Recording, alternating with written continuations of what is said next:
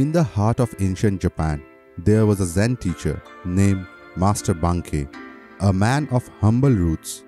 He had transformed his life by understanding the Zen essence of simplicity and humility.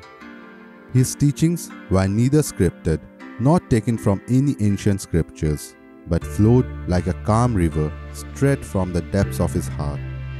This drew people from all walks of life, breaking the barriers of rank and sect. Among the masses, there was a priest from the Nichiren sect. He was a man of stern demeanor, used to commanding respect rather than earning it. His followers were now drawn to Master Bankei, and this stirred a storm within him. One day, unable to bear this any longer, the Nichiren priest stormed into the peaceful congregation of Master Bankei. In a fit of ego, he challenged Master Bankei. His voice resonated through the quiet assembly. Zen teacher, those who respect you will obey what you say, but I do not respect you. Can you make me obey you? Master Bankei, unflinching in his calmness, warmly invited the raging priest. Come up beside me, my friend, and we shall see. With pride as his armor, the priest pushed his way to the teacher. Master Bankei said, Come over to my left side. The priest obeyed. But then, No, we may talk better if you are on my right side. Step over here. Beaming with pride once again, the priest obeyed.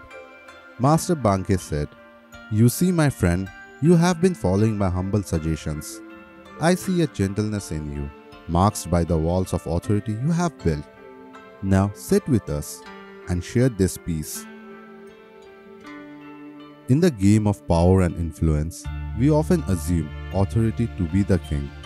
But this simple interaction reveals a deeper truth. True power is not about commanding obedience, it's about inspiring respect and willingness. Master Bankei, with his humility and gentleness, moved a stern priest without force or authority. Our paths in life are filled with choices to command or to inspire, to demand respect or to earn it, to dominate or to understand. The way we choose shapes our relationships and influences those around us. Reflect on your influence in your personal and professional lives. Are you a commander or an inspirer? Do you demand respect or earn it? Let Master Bankei's lesson guide you in your interaction. True power is not in making people obey, but in inspiring them to listen, respect, and follow. If this story resonates with you, give it a thumbs up. Share it with someone who might benefit from this lesson. And don't forget to subscribe to my channel for more inspiring stories that will help you to see the world through a fresh lens.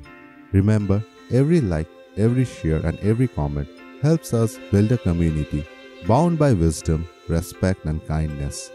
Together, we can inspire change, one story at a time. And always remember, your power lies in humility and kindness, not dominance. Thank you for watching A Shift in Perspective, and until next time, take care and keep shining.